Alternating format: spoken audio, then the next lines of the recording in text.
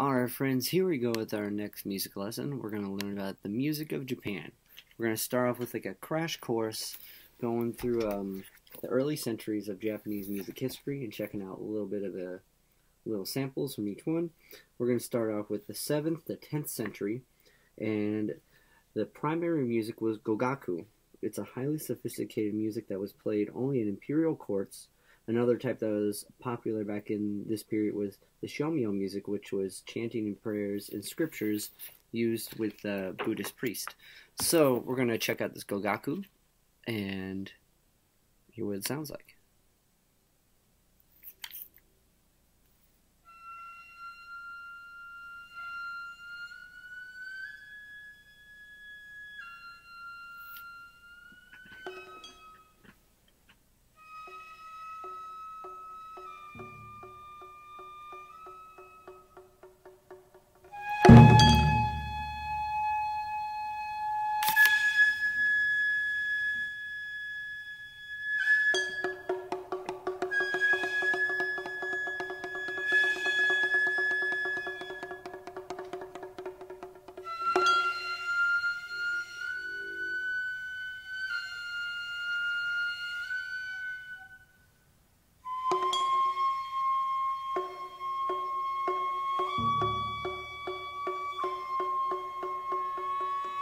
Alright,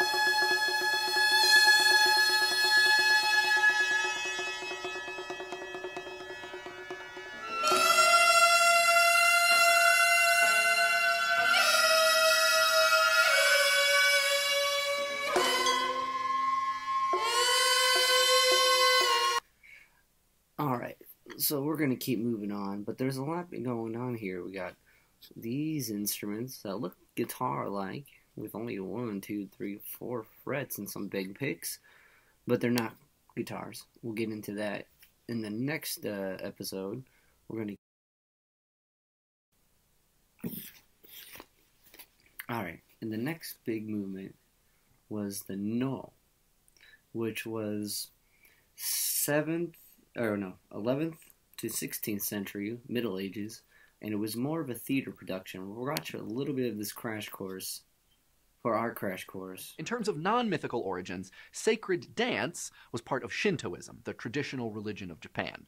Particularly important was kagura, or god music, a dance performed by priestesses. But in the 6th century CE, Buddhism arrived, and with it, Japan adopted additional forms of dance and ritual. We know about some of these from a 712 CE text called Records of Ancient Things. Sort of does what it says on the tin. In 782, some killjoy nobles nix palace entertainers who were then taken in by Buddhist and Shinto temples, at which point worship got a lot more exciting.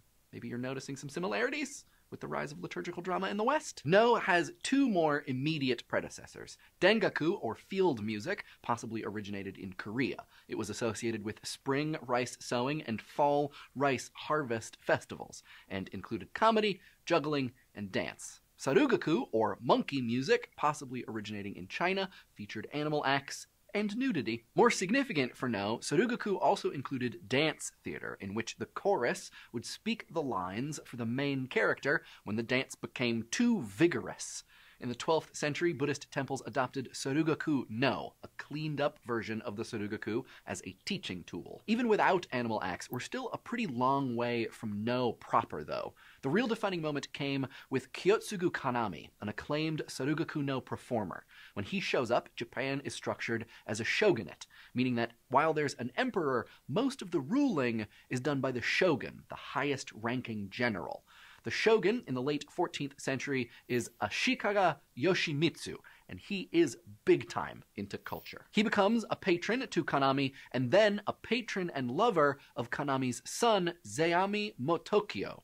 Father Kanami manages to combine Sarugaku no with stories borrowed from classical Japanese sources, like the tale of Genji, and then ties the whole thing up with a Buddhist bow. Son Zeami then takes that form, perfects it, and writes some theory about it. Because, I mean, come on, someone's got to be doing theory at your theater, right? Zeami also writes about a hundred of the plays considered no canon. And guess what? We still have 21 of them. Yes!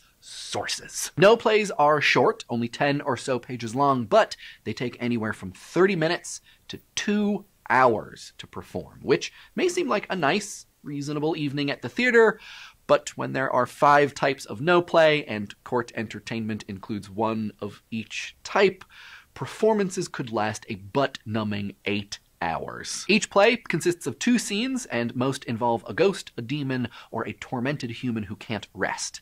The language is a mix of verse and prose, most of it sung or chanted. Every no play ends with a dance. The five types of no play are the kamimono, which involve the sacred story of a Shinto shrine. Shura mono plays are about warriors like Atsumori, we're going to meet him soon.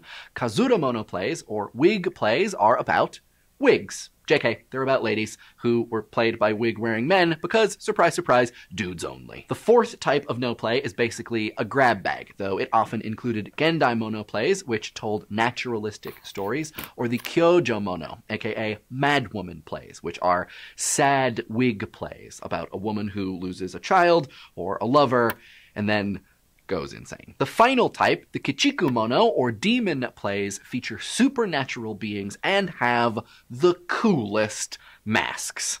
I mean, look at this. All right.